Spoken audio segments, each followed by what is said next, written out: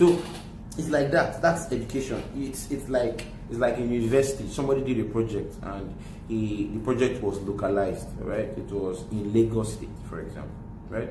Then you are now going to do a project and and you're taking that project to Nigeria, all right? And we say, okay, wow, that's cool. It's deeper.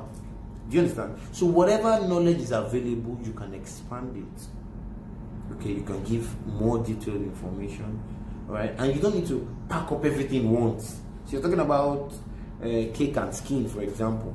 If you look at it and it's large, you can break it up for a week, right? There was a brand we were managing, and um, during the elections, they're writing things what they expected of governors, uh, as for assembly, uh, the president, and all of that. Were long. Those things were long, right?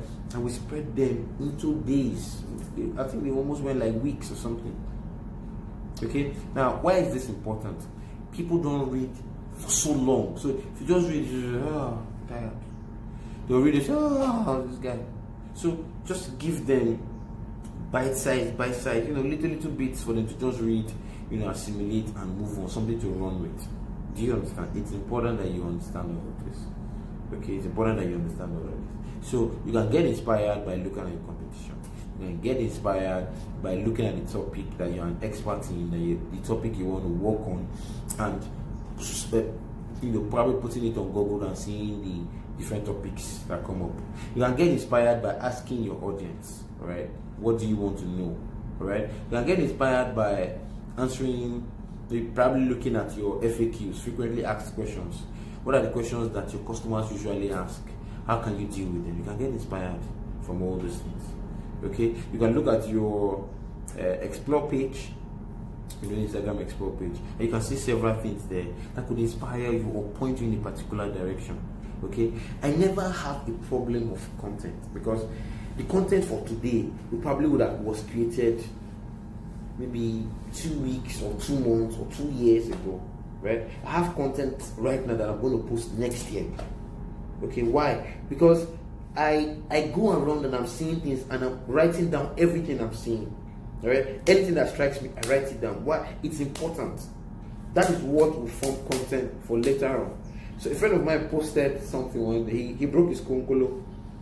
Um, his name is the fixer, right? So he broke his konkolo and brought out the money that he has been saving in it. When I said, I was like, wow, I'm going to save this picture.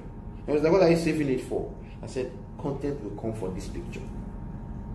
Do you understand? That's the way I work. Just pick it, save it. There is no stupid content. Pick it, save it. All right, upload it somewhere, leave it there one day. The content for it will come. Okay, and this there is this craze. You take a picture today, you must go today. If it's not a live event, if it's not something that is live as per something is happening, you want to, there's no need for you to go today. Do you understand? There's no need for you to go today. If you get that content, you can sit down, arrange it, plan it. Alright? The content will be just images or just a video. The write up for it, you could see it later on somewhere. Or the write up, you probably would have had it somewhere before. You just saved it, you just pull everything together. Right? You guys just have to understand how to think like this. It's it's everywhere. Content is everywhere. Alright? Your images, your video, it's everywhere. Right?